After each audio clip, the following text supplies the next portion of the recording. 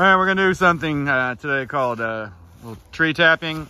Uh, a lot of people like to tap trees for maple, maple trees, of course, but uh, we have other ideas. So, Reed, lead on. We're in search of some tree beer. Looks like a good one right here. How about? It's got the right consistency. Is it hollow? Oh, there's a hollow. How about? All right. What's going on up in there?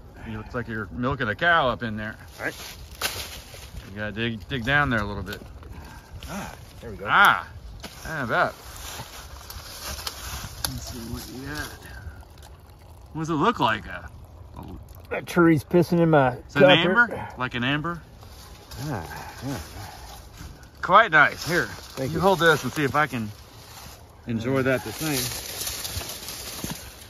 Yeah, I'll be down. How about? Uh, as luck would have it. Oh yeah, you gotta do it just right. Oh, here she comes. Oh, yeah. There we go. Ah, nice, bruh. That tree likes it when you kind of pull on it like that. There you go. How about? Well, we're toasting to tree tapping and a lovely tree beer. What? Let's see what it is. What do you think? I think Mick Dodge would approve. Mick Dodge approved. Have a good day.